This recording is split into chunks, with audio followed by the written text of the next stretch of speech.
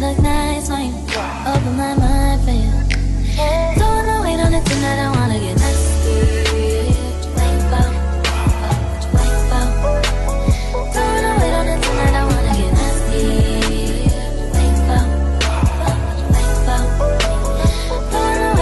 Hey guys, welcome back to my channel. Today is Tuesday. Happy Tuesday. So the concept for today, we're gonna do a cooking vlog and it's Tuesday. So why not do Taco Tuesday?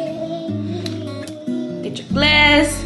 Uh, you'll see later on in the video what kind of cocktail this is. Shout out to my Bartesian. We love it. Anyway, cheers. Happy Tuesday. Hey y'all, what's up? What it is? Tuesday. Happy Taco Tuesday, you guys. So the first thing we're gonna start off with is the rice. I am using box rice this time. This is a quick and easy Taco Tuesday. Nothing more, nothing less. Um, when you boil your water, I am adding cumin. I love to do that. I don't know, it just makes the rice taste more authentic if you ask me. I don't know, y'all. But add your cumin.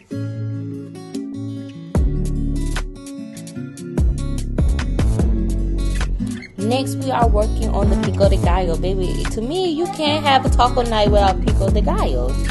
So you need um, garlic. Excuse the taller back. garlic, tomatoes, cilantro, jalapenos, and a purple onion. Oh, and some limes. Don't forget the limes. If you don't have limes, limes, and you have lemons instead, you use the um, you use lemons and a pinch of salt for taste.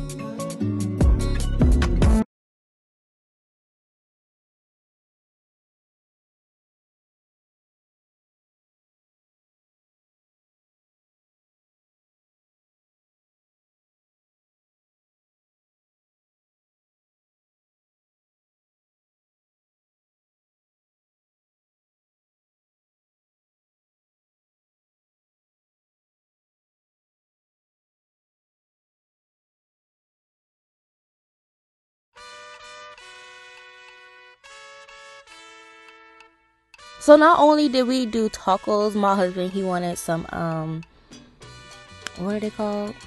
He wanted some enchiladas. So now it's time to start on our ground beef. Um I'm pretty sure everybody know how to cook that ground beef.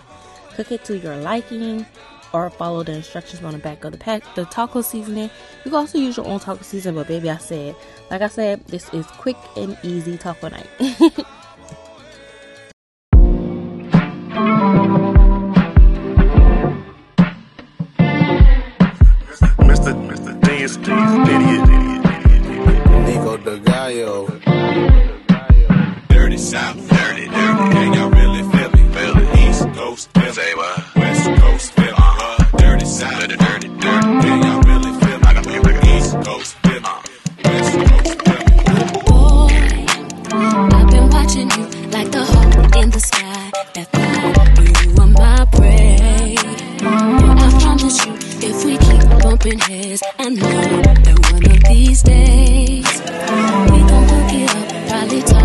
the phone, but see,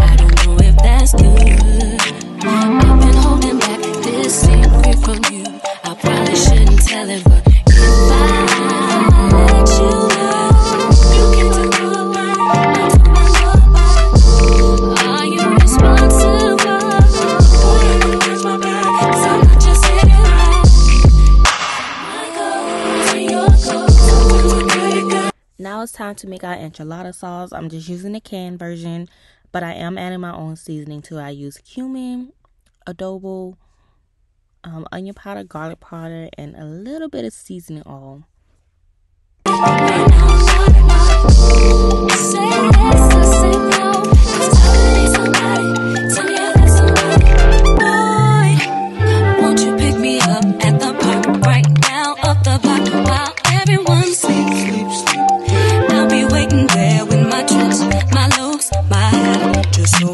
Key. You tell the world, oh boy, see I'm trusting you with my heart, my soul.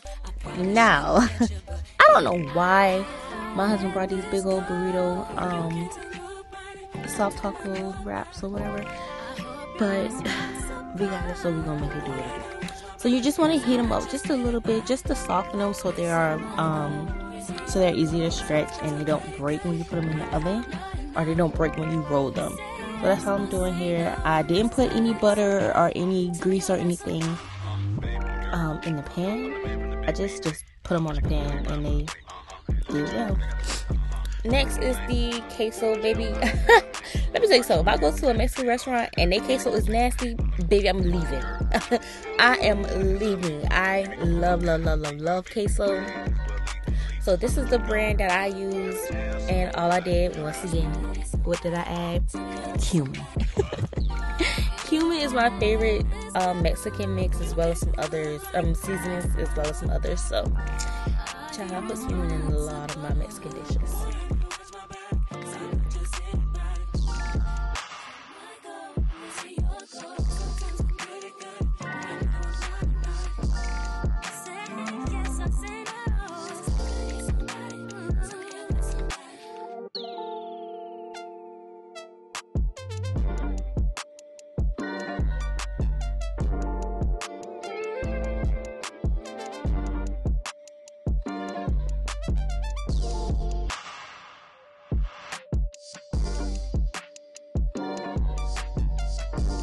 Now it's time to put everything together. What you want to do first, get your enchilada sauce and put it at the bottom of the pan.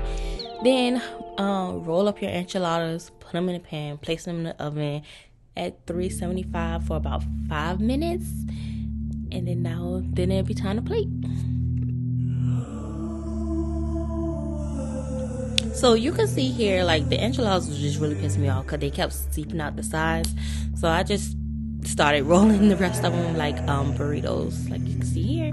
Tuck the sides, roll up. And of course, my mini me wanted to help. I'm pretty sure you guys can see her um, like pounding her hand in her palm, like taking one fist and pounding it in her hand, like she's doing rock paper scissors.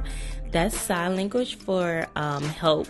So lately, me and her, I've been trying to teach her different sign languages. She's been doing really, really well with it, picking up on it really fast. So I'm excited for that. Like I love that she's interested in this. I'm pretty sure she don't even really know that it's a different language, but it's really exciting and I'm learning as well. So that's that's fun.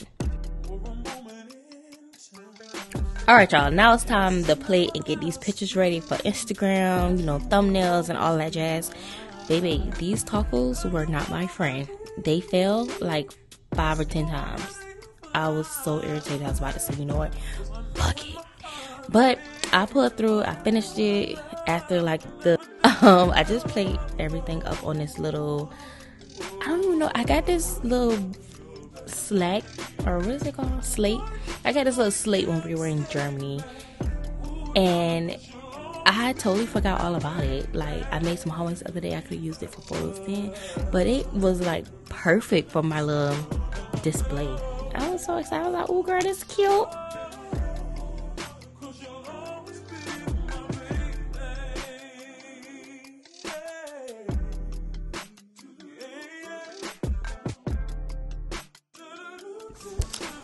Okay, y'all, y'all know you can't go to a Mexican restaurant without getting a cocktail or a drink or a margarita. So, thanks to my new machine, shout out to my mom for giving us this for Christmas. I made a pineapple margarita. So I did my rim. Every time I get a margarita, I get sugar around the rim. So I sugared my rim. I used an orange this time around my rim so the sugar will stick. And and then I just put the little part inside the machine and let it do its thing. And baby, here's my drink.